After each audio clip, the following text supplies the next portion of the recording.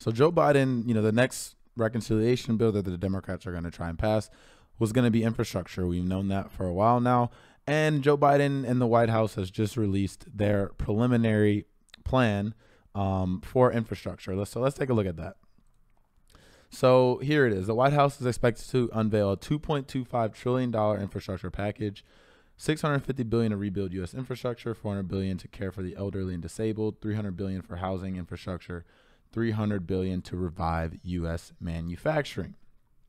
Now, if you're looking at that and you're like, you see a lot of very, very large, pretty much unconceivable, inconceivable numbers, um, and you think this is a great thing, it's very underwhelming.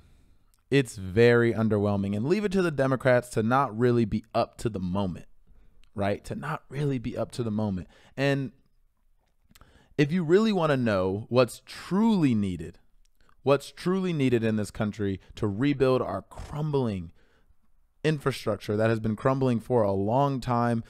I mean, buildings, roads, bridges that haven't been worked on or maintained in decades.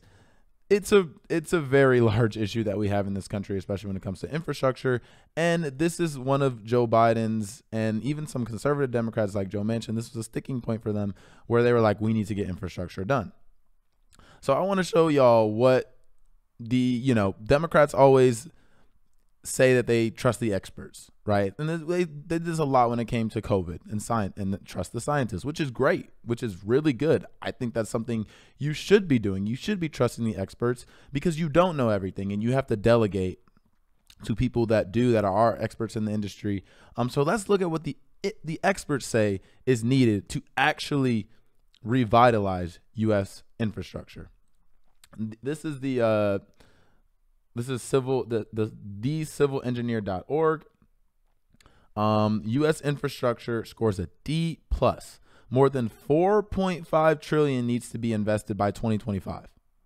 Now, Joe Biden is proposing literally half of that, and this is before the negotiations have even started. Before the negotiations have even started, and you know what happens in the negotiations, especially considering you have someone who is pretty damn conservative in Joe Biden, and you have a lot of conservative Democrats. It's probably going to, you know, get stripped. A lot is going to be stripped out of that, even from the proposal that's already half as much as we need in this country. And see, that's the problem with Democrats is when there's a crisis and there's a moment for them to face that crisis, especially when they have a mandate, they have complete control of government. Same thing that happened 2009, 2010. What do they do? They squander it away with bullshit half measures that never meet the gravity of the crisis that we're actually in.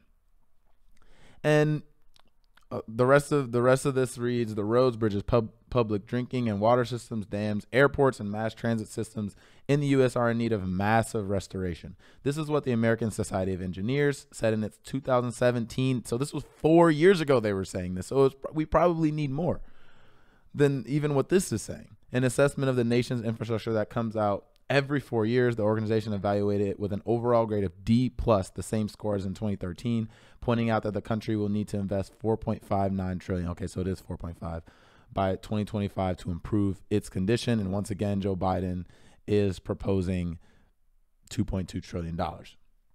Now, let's let's see what some of the progressives in Congress have to say about that. And, you know, this was something I was interested to see because I didn't even know I didn't even know at first that this was the case. And AOC points out this is not nearly enough. The important context here is that it's 2.25 trillion spread out over 10 years. See, I didn't even know that because the COVID relief bill was, you know, for this year it was a 1.9 trillion dollar uh, relief plan. This is 2.25 trillion spread out over 10 years. Over 10 years. For context, the COVID like AOC saying was 1.9 trillion for this year alone, with some provisions lasting two years. Needs to be way bigger. So that's what AOC had to say about it. Let's see what you know some of the other Justice Democrats like Ro Khanna had to say about it. What he had to say was, with up to one trillion dollars per year over the next decade, we can make per year. So he's he's proposing ten trillion dollars, um, with I guess Ed Markey and, and Deb Dingell. And he says we can make critical and productive investments in clean energy, job creation, and our nation's infrastructure. So that's what Ro Khanna is saying. That's what AOC is saying. And I'm glad they're saying those things because that is desperately, desperately needed. And there was a good tweet by my friend Blakely who uh, she has a show with Christian Smalls. It's, it's a Smalls World. Everyone go check that out.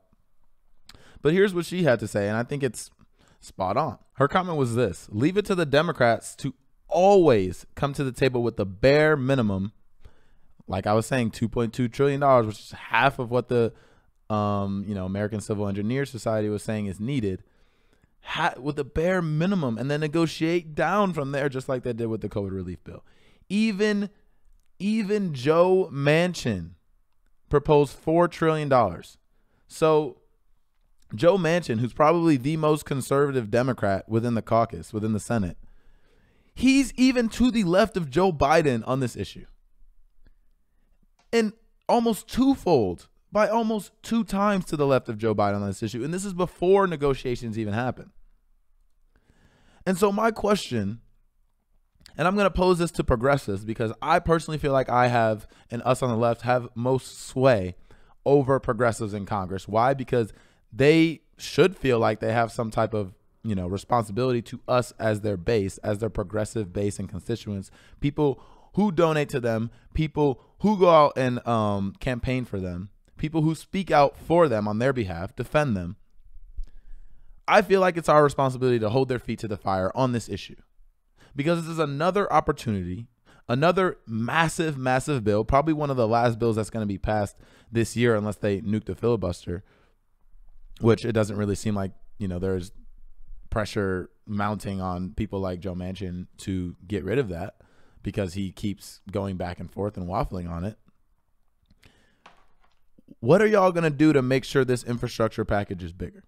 Are y'all going to withhold your vote just like those conservative Democrats are going to withhold their vote within this very bill to make sure that they get the ta- their tax cuts for their rich, wealthy friends and donors in, in these high tax blue states. So if they're willing to do that to make sure we get tax cuts for the rich, are y'all willing to withhold your vote on this package until and unless this infrastructure package actually meets the moment or even comes close to it? And these a lot of these numbers are large and you know, it's an infrastructure bill. A lot of people don't know exactly what that means. But what it means is you're going to be able to provide clean drinking water to everyone across this country. What it means is you're going to be able to provide public transportation, you know, actual upgraded public transportation for people and who uses public transportation? Not super wealthy people. No, it's it's poor and people and people in poverty that use it the most because it's the cheapest and it's most accessible accessible for them. So that's what that that also means that. So these are more than just numbers.